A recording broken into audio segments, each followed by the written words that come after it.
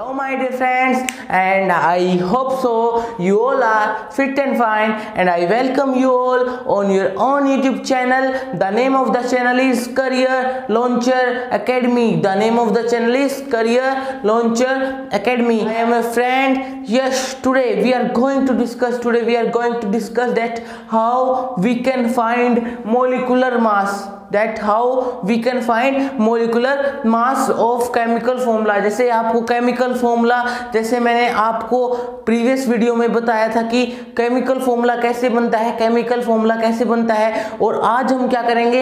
Example लेंगे chemical formula है chemical formula जैसे हमने हमने ले लिया है एग्ज़ाम्पल एक एग्ज़ाम्पल जैसे है H2O तो H2O को हम H2O का हम मोलिकुलर मास कैसे फाइंड आउट करें। कैसे फाइंड आउट करें? वो आज हम सीखेंगे। So first of all I want to thank you all to give such a lot of love to my last और you can say that previous video so I hope you all understand the topic of our last or previous video.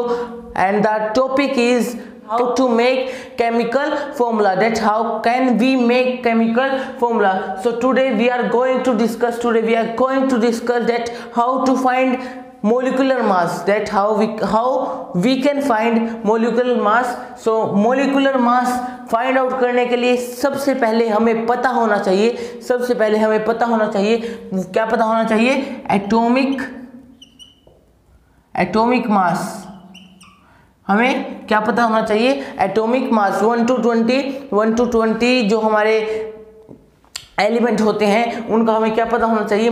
Atomic mass atomic मास पता होना चाहिए। Atomic मास के ऊपर एक short trick की video बनाई हुई है, जिस, जिससे आप क्या कर सकते हो? वन टू ट्वेंटी एलिमेंट को शॉर्ट ट्रिक से लर्न कर सकते हो शॉर्ट ट्रिक से लर्न कर सकते हो। सो आप आपके यूट्यूब पर जाकर, आप आपके फ़ोन में जा, आप फ़ोन को ऑन कर कर यूट्यूब पर जाकर आप देख सकते हैं। आपके करियर लॉन्चर अकेडमी चैनल को यूट्यूब पर सर्च कर कर आप देख सकते हैं। The short trick of atomic mass, that how we can learn atomic mass of 1 to 20 element. So, let's start today video.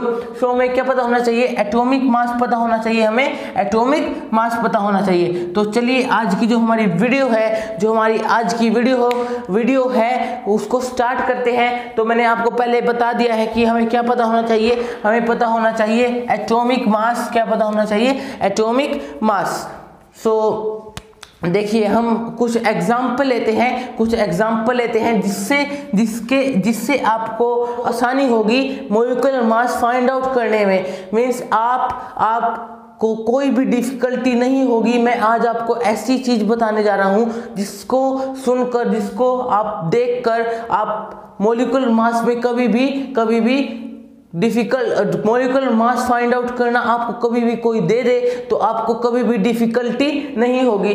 So so, जो हमारा एग्ज़ाम्पल ले लेते हैं हम एग्ज़ाम्पल में हमने लिया है एच टू ओ तो सबसे पहले हमें पता होना चाहिए कि एच टू ओ किस किस से बना है? हाइड्रोजन और ऑक्सीजन से हाइड्रोजन और ऑक्सीजन से। सो so, यहाँ पर लिख लेते हैं हम हाइड्रोजन हाइड्रोजन लिख लेते हैं। हाइड्रोजन तो हाइड्रोजन क्या है हमारा? हाइड्रोजन अभी मैंने अभी आपको बताया था कि हमें क्या पता होना चाहिए मेन हमें पता होना चाहिए, हमें पता होना चाहिए एटॉमिक क्या पता होना चाहिए? एटॉमिक मास क्या पता होना चाहिए? एटॉमिक मास सो जो हमारा एटॉमिक मास होगा इसका, वो होगा वन क्यों क्यों होगा? क्योंकि मैंने आपको बताया भी था आपकी वीडियो में अगर आपने वीडियो नहीं देखी है तो आप जाकर आपके करियर लॉन्चर अकेडमी चैनल पर जाकर देख सकते हैं। मैंने आपको पहले ही बताया था। तो इसका जो एटॉमिक मास होगा, हमारा वन एटॉमिक मास होगा वन और जो हमारा ऑक्सीजन होगा ऑक्सीजन मैंने आपको बताया था ऑक्सीजन का एटॉमिक नंबर होता है एट और जो ईवन होते हैं, उनका एटॉमिक मास कैसे फाइंड आउट करते हैं, उसको टू से मल्टीप्लाई कर देते हैं। तो इसका जो एटॉमिक मास होगा हमारे हमारे ऑक्सीजन का वो होगा सिक्सटीन तो अब देखिए, हमने हमने atomic mass atomic mass find out कर लिए हैं तो हमें क्या करना है? देखिए हाइड्रोजन कितने हैं हमारे पास? टू हाइड्रोजन है तो हम कैसे? देखिए, यहाँ पर हम लिख लेते हैं मोलिकुलर मास मोलिकुलर मास तो अब कैसे फाइंड आउट करेंगे? सबसे पहले है हमारे पास हाइड्रोजन तो देखिए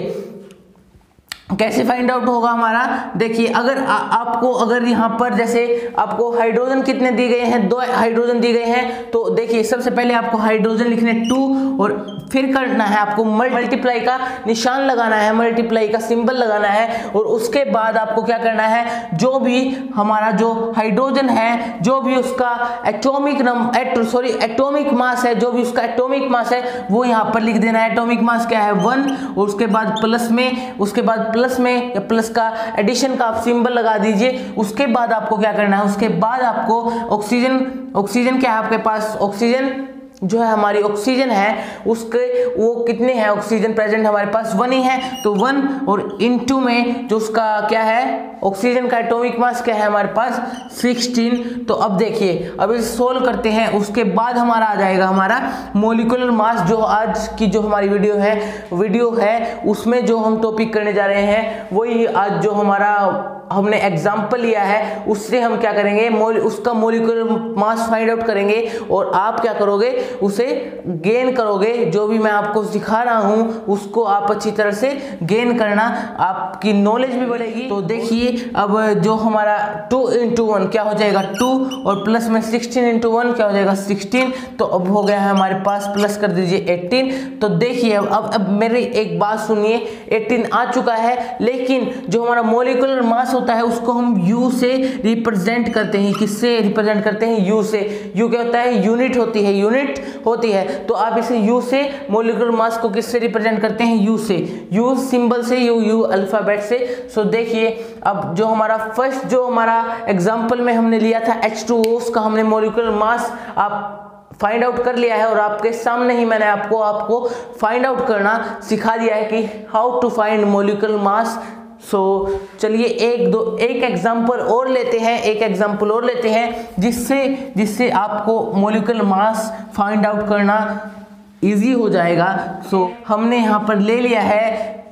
एग्ज़ाम्पल में क्या ले हम? एग्ज़ाम्पल में हम एग्ज़ाम्पल में हमने ले लिया है M G O M G O M G O किसका होता है? मैग्नीशियम ऑक्साइड का, जिसका मैं आपको, आपकी वीडियो में एक आपकी जो प्रीवियस वीडियो थी, उसमें मैंने आपको एग्ज़ाम्पल भी एग्ज़ाम्पल भी दिया था मैग्नीशियम ऑक्साइड का और उसको केमिकल फॉर्मूला में चेंज करके भी आपको बताया था और चलिए, अब हम हमारे एम का क्या करते हैं मोलिकुलर मास फाइंड आउट करते हैं। तो सबसे पहले इसमें हमें देखना है कि कौन कौन से एलिमेंट है एम मतलब मैग्नीशियम और ओ है हमारा ऑक्सीजन तो मैग्नीशियम जो है हमारा मैग्नीशियम मैग्नीशियम सॉरी मैग्नीशियम तो मैग्नीशियम मैग्नीशियम का हमें atomic mass atomic mass find out करना है। एटॉमिक मास मैग्नीशियम है, जो हमारा मैग्नीशियम है, वो आता है एटॉमिक नंबर है हमारे पास क्या? ट्वेल्व क्या है? ट्वेल्व तो अब देखिए, जो हमारा मैग्नीशियम है, वो एक इवन नंबर है। तो वो एक इवन नंबर है तो मैंने आपको शॉर्ट ट्रिक बताई थी। तो इवन में क्या होगा? टू से मल्टीप्लाई होगा। लेकिन लेकिन अगर आपको कोई और दे दिया जाए तो उसमें क्या करेंगे आप वन ऐड कर देंगे वन ऐड कर देंगे। टू से मल्टीप्लाई करने के बाद वन ऐड कर देंगे। तो देखिए, इसको मल्टीप्लाई कीजिए, हो जाएगा ट्वेंटी फोर तो इसका एटॉमिक मास क्या है हमारे पास?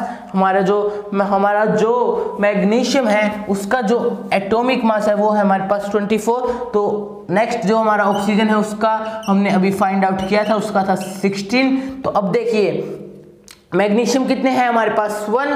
तो देखिए, अब यहाँ लिख देते हैं मोलिकुलर मास अब देखिए, कैसे कैसे फाइंड आउट करेंगे हमारे मोलिकुलर मास को?